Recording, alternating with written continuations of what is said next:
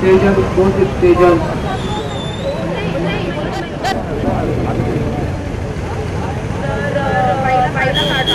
तर me introduce करते मला स्वतःला ॲक्च्युली फर्स्ट मी निकिता जगन्नाथ शेट्टी आहे.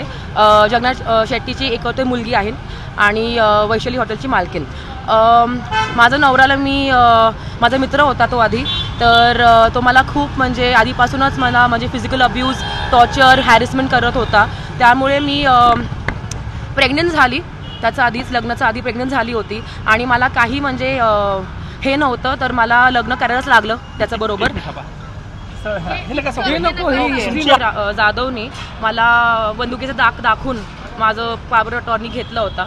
आणि त्या पॉवर अटॉर्नीवरून त्यांनी गिफ्ट डीड करून टाकले होते सगळे प्रॉपर्टीजचे हॉटेल वैशालीचं माझं घर मोदीबाग फार्म हाऊस तर मला म्हणजे काहीच नव्हतं. काय म्हणतात त्याला भांडायला काहीच म्हणजे काहीच नव्हतं पैसे पण नव्हतं. मला तो म्हटला होता की तू घर सोडून जावा. आणि माझं एक मुल मुलगी आहे चार वर्षाची. तर तिला घेऊन त्यांनी मला मला खूप ब्लॅकमेल केलं होतं. आणि त्यानंतर मी एफ आय आर लॉन्च केली अठरा जूनला शिवाजीनगर स्टेशनमध्ये त्यानंतर तो आता फरार झाला आहे दोन महिने झाले सर. मी माझी मुलगीला बघितलं नाही आहे आणि बोलली पण नाही आहे ती अशी. तर केस चालू आहे सध्या आता फिजिकल हॅरेसमेंटबद्दल आणि फ्रॉडबद्दल त्यांनी फ्रॉड केलं आहे आणि सगळ्यात महत्त्व गोष्ट तर त्यांनी कर्ज घाट घेतलं आहे पाच कोटीचं मागणी काय आता नेमकी? काय अपेक्षित आहे तुम्हाला? माझं हेच आहे की हो. नाही दोन महिने झाले मी मुलगीबरोबर बोललीच नाहीये आणि तिला भेटली पण नाहीये. तो फरार झालाय आणि तिला घेऊन गेलाय तो. मग पोलीस काय म्हणतात? तुमची मागणी काय तर लवकरच लवकर माझी मुलगी मला पाहिजे. एकतर तेच आहे. पोलिसांना मी सांगितलंय. अख्खं डिपार्टमेंट आता त्यांचं म्हणजे इन्व्हेस्टिगेशन चालू आहे. पण तरी पण म्हणजे खूप वेळ झालाय. तर अं, मला माझी फक्त मुलगी पाहिजे. अजून काही नाही. आणि प्रॉपर्टीबद्दल तर केस ऑनच आहे. तर मुलीचं मुलीचं वय किती आहे? कागदावर कागदावर कोणाच्या नावावर आहे आता आता- हो तर आत्ता म्हणजे त्यांनी गिफ्ट डीड करून टाकले सगळे प्रॉपर्टीजचे पण म्हणजे मी पॉवर अटॉर्नी रिवोक केलं आहे तर G S T shop act food licence सगळं माझं नावावर आहे सध्या. पण तरी पण केस ऑन आहे. म्हणजे पोलिसांनी कारवाई करायला त्याला अटक करावी अशी तुमची मागणी आहे का आता? हो, हो. काय मागणी तुम्ही सांग तुमच्या तोंडाने सांगा. म्हणजे मला कळलं नाही. म्हणजे. पोलिसांनी काय कारवाई करावी त्याला? म्हणजे ऑब्व्हियसली आता त्यांना शोध त्याला शोधतात ते लोक. पण अं, त्याला तरी पण म्हणजे ते लोक भेट म्हणजे त्याला हे करत नाहीये. ते थोडं रिलॅक्स म्हणजे थोडंफार आहे. Okay. त्यामुळे माझी मुलगी पण नाही आहे माझी बरोबर. तसं नाही तेच सांगा. त्याला अटक करावी. हो तर आलू क्युअर ना पुढे बघा. तिकडे बघू का अच्छा.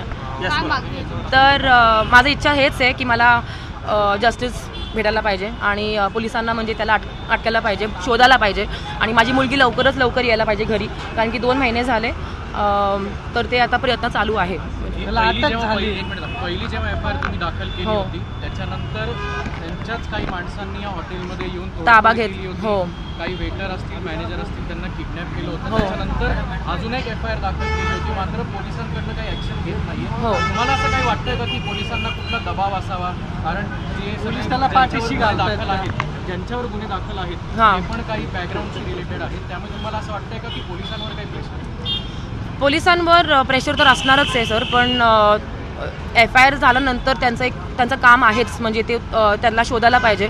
आणि सगळेजण आत्ता तर त्या इन्व्हेस्टिगेशनमध्ये चालू म्हणजे आहे ऑन आहे. पण थोडा वेळ लागतो आहे तर माझं हेच म्हणणं आहे की लवकरात लवकर सगळं होऊ आणि त्याला शोधावा आणि माझी मुलगी यायला पाहिजे. नाही पण सगळ्यात महत्त्वाचं अधिकाऱ्याचा मुलगा आहे म्हणून पोलिसांवरती दबाव आहे असं नाही असं काही नाही आहे म्हणजे तुम्ही जर काय पोलिसांचं म्हणजे बॅकग्राऊंड पण असेल काही असेल ए सी पी होते रिटायर्ड ए सी पी होते. दोन हजार सहामध्ये त्याचं रिटायरमेंट झाले होते. तर अ, त्याच्याकडे पण बॅकग्राऊंड असेल माझ्याकडे पण बॅकग्राऊंड आहे. आणि माझे वडिलांमुळे आज अ, मला लोक मदत करतात. आणि अ, सगळ्यांना माहिती आहे की जगन्नाथ शेट्टी म्हणजे खूप कष्टाने हे हॉटेल बनवलं आहे तर अ, त्यासाठी म्हणजे माझं पण आहे म्हणजे इतकंच पॉवर आहे. त्याला अटक झाली. हो अटक झाली असं पाहिजे. मुलगी किती वर्षाची? चार वर्षाची आहे. हो. चार वर्ष किती दिवसापासून तुमच्यापासून? दोन महिने दोन महिने. तर ज्यापासून जून अठराला मी एफ आय आर लॉन्च केली होती त्यानंतरच म्हणजे ती अ, फरार झाली. ठीक आहे तिला घेऊन गेलो. लाल मातीतली कुस्ती. म्हणजे